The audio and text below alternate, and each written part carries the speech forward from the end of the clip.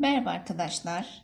Ee, evrimden kaldığımız yerden devam ediyoruz. Hatırlayalım bir önceki videoda ne işledik? Bir önceki videoda işte ototrof pardon biyogenez ve abiyogenez görüşünden bahsettik. Daha sonra panspermia hipotezinden bahsettik. Şimdi geliyoruz biyogenez görüşünün yani biyogenez hipotezinin devamı olan ototrof hipotezine. Arkadaşlar hemen sayfamızı değiştiriyorum. Ototrof hipotezi nedir?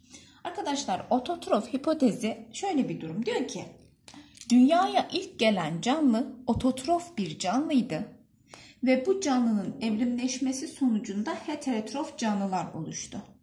E şimdi baktığımız zaman bu hipotez dünyaya ilk gelen canlının ototrof olduğunu söylüyor ama o canlının nasıl oluştuğunu söylüyor mu? Bunu kanıtlayabiliyor mu? Hayır. Bu sadece dünyaya gelen canlının ototrof olduğundan bahsediyor ama nasıl geldiğinden bahsetmeyen bir görüştür. O zaman şöyle yazalım. Bu hipoteze göre bu hipoteze göre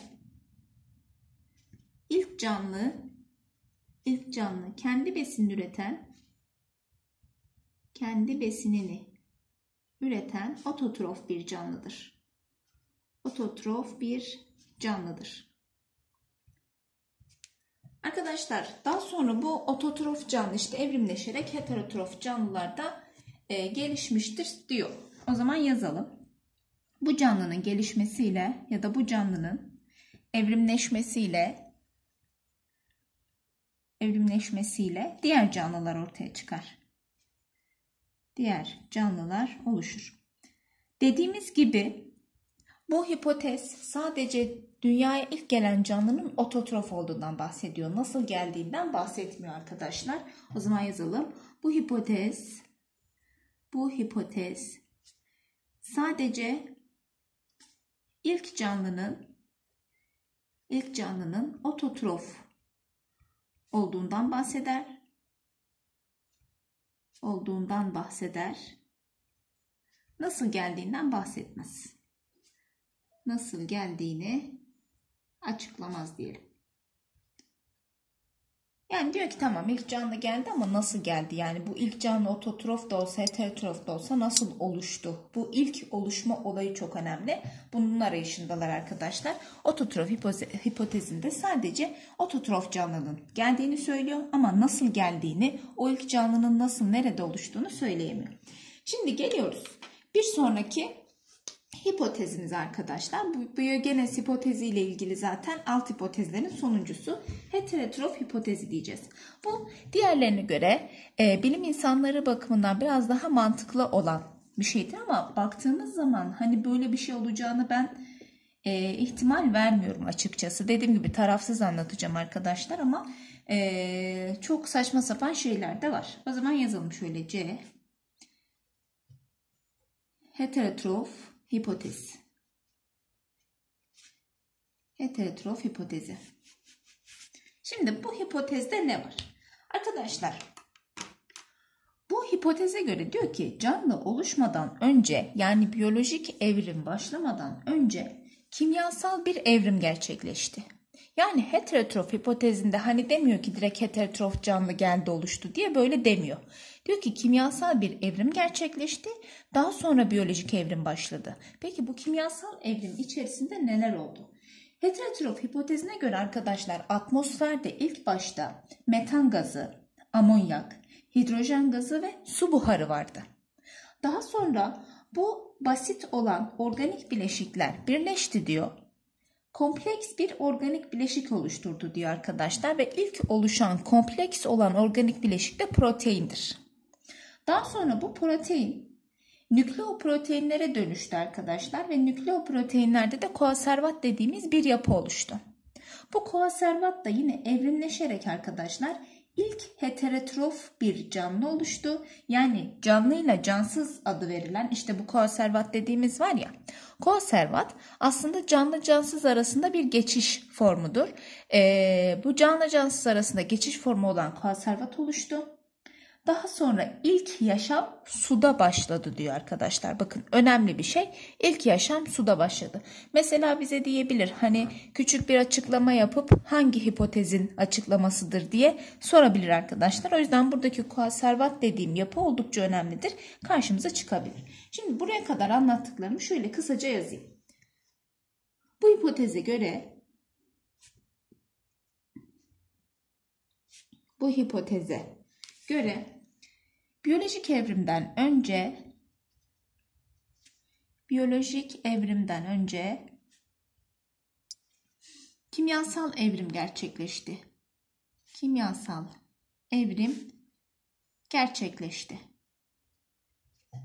Dediğimiz gibi arkadaşlar bu kimyasal evrime göre işte e, atmosferde ilk başta bakın atmosferde ilk olarak ilk olarak CH4 yani metan. Şöyle parantez içerisinde yazayım ne olduğunda metan.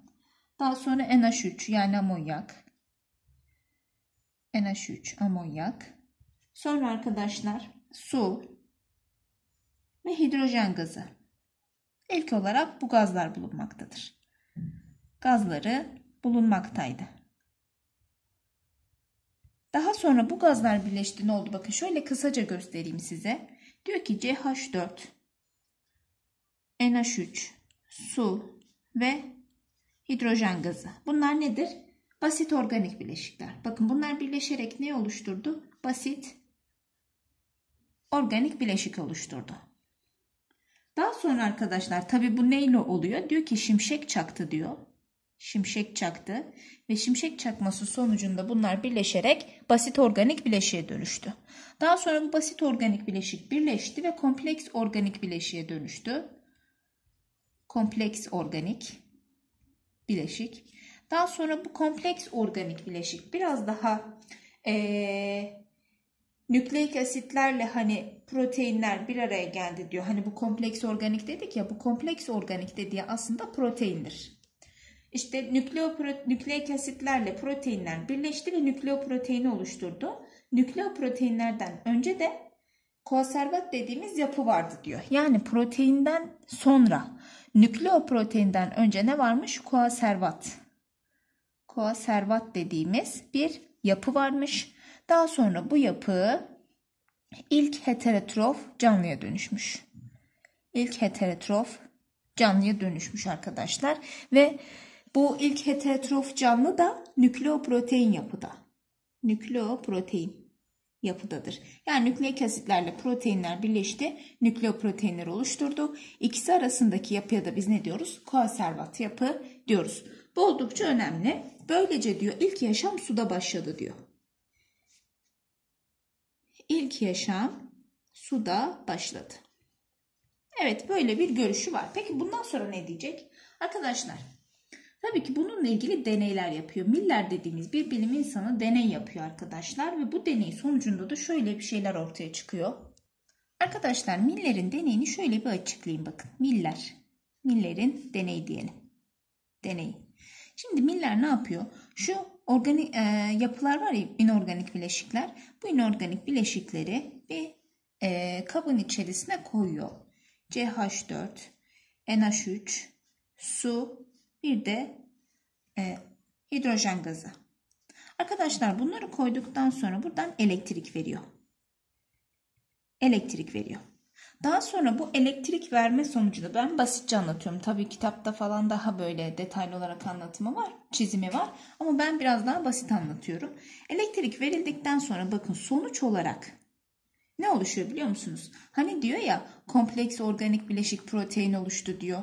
İlk önce basit organik bileşik oluştu sonra komplekse dönüştü diyor. Böyle bir şey olmuyor tabii ki arkadaşlar. Bunun sonucunda toplama kabında ne oluşuyor? Bakın üre, daha sonra amonyak, amino asit, amino asit. Sonra arkadaşlar e, hidrojen siyanür, hidrojen siyanür asetik asit, laktik asit, asetik asit, laktik asit gibi asitler oluşuyor. Laktik asit. Bu arada amonyak yanlış yazdım. Amonyak yok. Şu dört tane bileşik oluşuyor arkadaşlar. E, baktığımız zaman tamam amino asit oluşmuş hani basit organik bileşik olarak düşünebiliriz. Daha sonra proteine dönüşmüş gibi acaba olur mu? Ama tabii ki sonradan ne bulunuyor? E, atmosferde bulunan hani diyor ya ilk olarak işte metan, amonyak gazları vardı diye. Daha sonra arkadaşlar atmosferdeki gazların yani ilk atmosferdeki gazların ilk atmosferdeki gazların ne olduğunu bulmuşlar. Oksijen, hidrojen ve arkadaşlar azot olduğunu bulmuşlar. Azot olduğunu bulmuşlar. Dolayısıyla bu görüş, bu hipotezde ne oldu? Tamamen ortadan kalktı.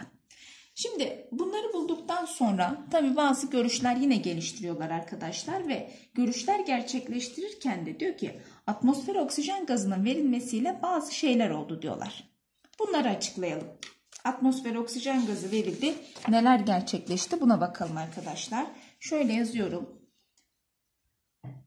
Atmosfere oksijen gazının verilmesiyle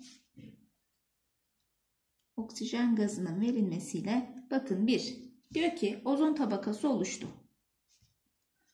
Ozon tabakası oluştu. Daha sonra iki numarada diyor ki güneşten gelen UV ışınları tutuldu. Şimdi ozon tabakası ne yaptı? Bu UV ışınları tuttu. Güneşten gelen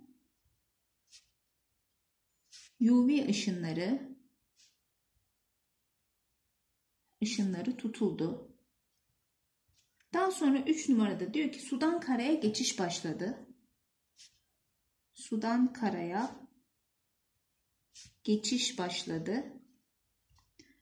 Dördüncü sırada diyor ki karada tür sayısı arttı. Karada tür sayısı arttı. Sonra da diyor ki arkadaşlar tüketiciler besinlerini üreticilerden karşıladı. Tüketiciler besinlerini üreticilerden karşıladı. Yani atmosfere oksijen gazının verilmesiyle bu olaylar sırasıyla gerçekleşti ve işte canlılığın oluşumu gerçekleşti diyorlar. Peki sudan karaya geçiş başladı. E, sudan karaya geçişte açıklanması gereken sorunlar neler? Şimdi bir de onlara bakalım.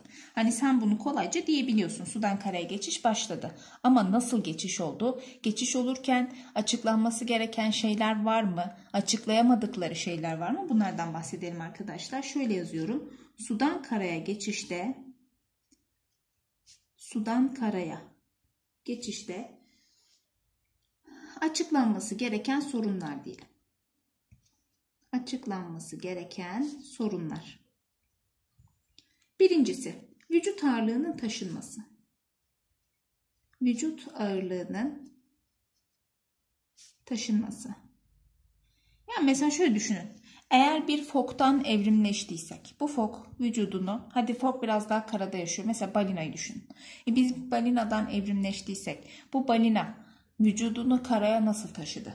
Ayakları yok sonuçta değil mi? Veya uçabileceği bir kanadı yok. Nasıl taşıdı mesela? Bu açıklanması gereken bir şey. Geliyorum ikincisine. Diyor ki vücut ısısının korunması. Şimdi vücut ısısının korunması. Balıklar arkadaşlar suda yaşayan canlıların çoğu zaten memeliler hariç, suda yaşayan memeliler hariç nedir bunlar? Soğukkanlı canlılardır. Soğukkanlı canlılar oldukları için girdikleri her ortama göre vücut ısılarını ayarlarlar. Ee, eğer ki biz bir işte diyelim köpek balığından oluştuysak veya bir vatozdan oluştuysak bunlar vücut ısısını nasıl korumaya başladılar? Yani bunu açıklayamıyorlar arkadaşlar. Hani bu e, sıcak kanlılık olayı açıklanamıyor. Üçüncüsü üreme çeşidinin değişmesi veya ve vücuttaki suyun korunması.